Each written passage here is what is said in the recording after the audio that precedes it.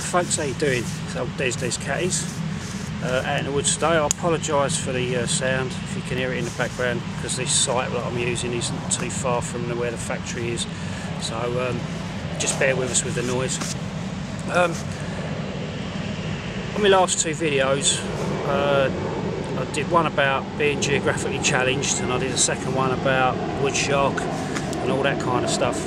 What I want to do with this one I just want to follow on a little bit um, with what I spoke about in the last two videos. I was hoping that I was going to get a few more views and get a bit of a debate going, but um, it didn't seem to happen. But who knows? Hopefully, some people will come through in the meantime and hopefully give some uh, some valid comments and stuff.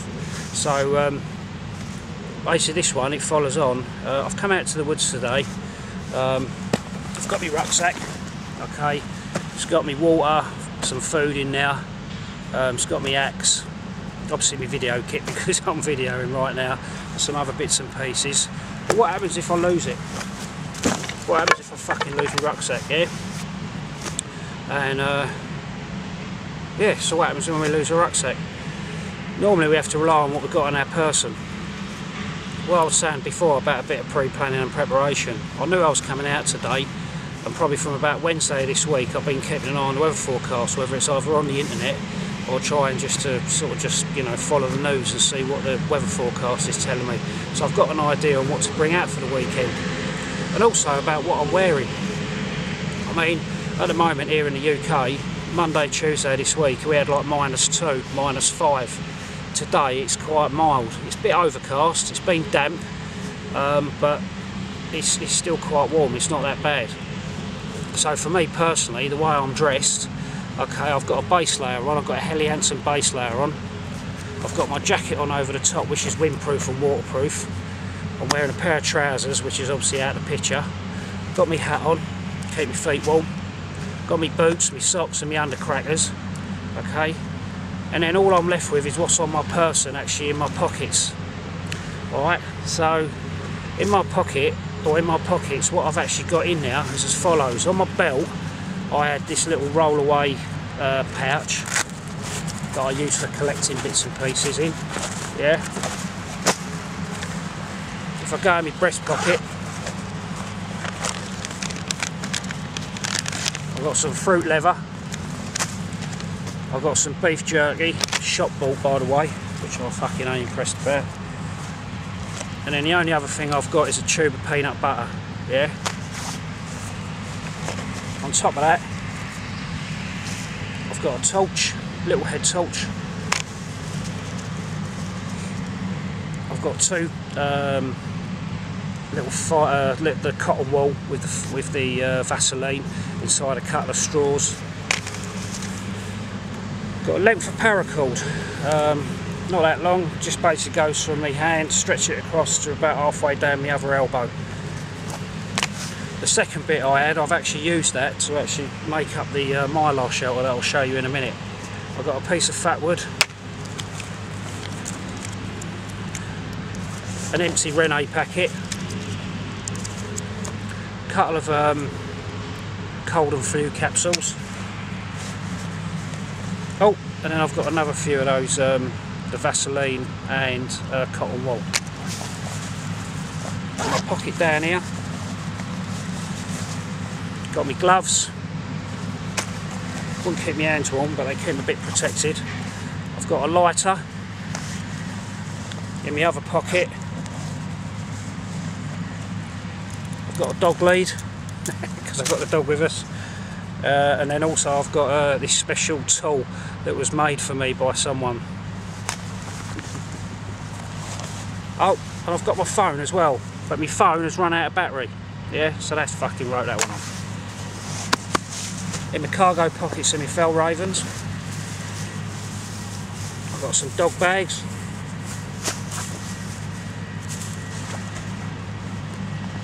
In my other pocket, I've got my tobacco, filters,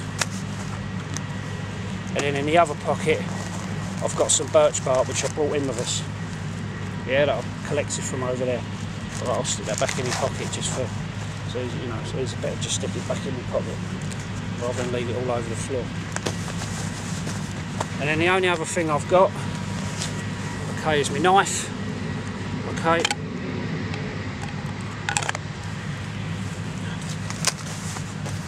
And then my Ben Orford with a fire steel attached to that as well. I won't bother getting the fire steel out, yeah, but that's the that's the Ben Orford knife, yeah. That some of you are familiar with the Nomad. Alright. So basically that's all I've got on me. Alright. So fuck, what am I going to do? Oh, the only other thing I got on me is what that I had in my pocket as well was a mylar blanket. And I've actually built a mylar shelter earlier, which I'll actually I'll show you now while I can. Going out the camera as I usually do. Right, and this is my little mylar shelter that I worked that I made. Alright. Nothing special. Okay, but it'll provide me with some protection from the uh, from the wind and the rain. That was another length of the paracord that I had stuck in me uh, in my pocket. Okay, as some of you might know or might not know, when you're using mylar, it's quite a it's quite a, a thin, fragile material really. What I've done to attach that, I've basically used a little bit of birch, I've rounded it off, and then that's in there, and that's acting like a toggle and a guide line, and that's holding my one of my uh, my birch branches that I've used to create a sort of bit of a hoop. Inside I've got another, you can't really see it, but I've got another length of willow that's just creating a, just basically lifting the mylar off, off my face or off my body, yeah. And then at the bottom there's another piece of um, uh, birch branch here that's, that's actually been tied onto uh, that's been tied onto the mylar as well. And then basically all I've done there is just weighed it down with some with some uh, birch branches and then I've stacked up a load of leaves just to sort of give it a little bit of a to act as a draft excluder yeah? So that was the only other thing that I had in my pocket okay the mylar as well. Okay. Right so let's turn the camera back round onto me. Right so there it is. I ain't got no cooking pot. I've got no water. I'm not going to drink my own piss because I just don't see the fucking point in it. But at least what I can do for now, okay, you know, alright, admittedly there's forklift drivers right over the back and I can shout my ass off. Alright, I ain't even got a whistle on me. Alright, so being able to attract attention is going to be a bit difficult. Alright, so here it is. Alright, what have I got? I've built my shelter, I've provided myself with a little bit of protection just to see the night out, okay? You might be in a little bit of a flap, yeah, because you're worried about, oh, you know, I, need to communicate, I need to get home, I need to, you know, all that stuff that's going on outside this, you know, outside the woods, okay? But admittedly, what you need to concentrate on and focus on is you, you right now, you what's going on up here and you what's going on around you, all right? So basically, you get your shelter up, get yourself some protection. You've got immediate protection because you're wearing clothing, all right? my fleece, my little fleece uh, that I had is in my rucksack that I've lost. Alright, but at least I've got something to, at least I can, at least I've got something initially with the windproof and the waterproof jacket. Me had to keep my head warm.